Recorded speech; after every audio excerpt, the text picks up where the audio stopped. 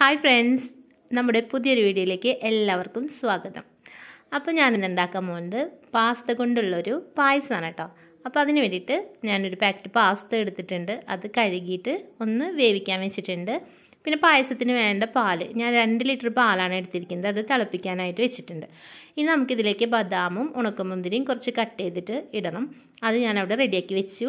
ഇനി നമ്മുടെ പാസ്ത നന്നായിട്ട് തിളച്ച് വന്നിട്ടുണ്ട്. ഇതൊന്നും കൂടി ഒന്ന് വേവാവാനുണ്ട് കേട്ടോ അപ്പോൾ കുറച്ചും കൂടി കഴിയുമ്പോൾ നന്നായിട്ട് വെന്തിട്ട് കിട്ടിയിട്ടുണ്ട്. ഇത് നമുക്ക് വാർത്ത് വെക്കണം. അപ്പോൾ നമ്മുടെ പാൽ നന്നായിട്ട് തിളച്ച് വന്നിട്ടുണ്ട്. അപ്പോൾ നമ്മൾ നേരത്തെ വെന്ത് കഴിഞ്ഞ പാസ്ത ഉണ്ടല്ലോ അത് ഞാനിവിടെ വാർത്ത് വെച്ചിട്ടുണ്ട് കേട്ടോ ഇനി ഈ പാലിലോട്ട് നല്ല തിളച്ച പാലിലോട്ട് നമുക്ക് ഈ പാസ്തയും കൂടി ഇടാം. അപ്പോൾ ഒന്ന് നന്നായിട്ട് ഇത് പാലും പാസ്തയൊക്കെ കൂടിയിട്ട് നന്നായിട്ടൊന്ന് തിളച്ചൊന്ന് സെറ്റാവണം.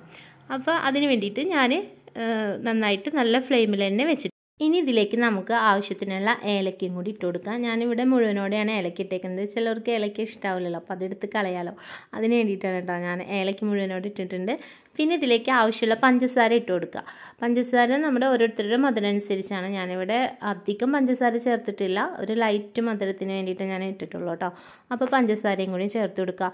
പിന്നെ ഇതൊന്ന് ജസ്റ്റ് ഒന്ന് കട്ടിയാവാൻ വേണ്ടിയിട്ട് നമുക്ക് വേണമെങ്കിൽ കോൺഫ്ലോറോ അല്ലെങ്കിൽ ഞാനിപ്പോൾ ഇവിടെ ഉണ്ടായിരുന്നത് നമ്മുടെ കൂവപ്പൊടിയാണ്. അതൊന്ന് കലക്കിയിട്ട് ഞാനത് അതിലേക്ക് കുറച്ച് വെള്ളം കൂടി ചേർത്തിട്ട് കൂവപ്പൊടി കലക്കിയിട്ട് നമ്മൾ പാലിലോട്ട് ചേർത്ത് കൊടുത്തിട്ടുണ്ട്. ഇത് ചേർക്കുമ്പോൾ പ്രത്യേകം ശ്രദ്ധിക്കുക. കട്ട പിടിക്കാതെ ഇളക്കിക്കൊണ്ടിരിക്കണം കേട്ടോ.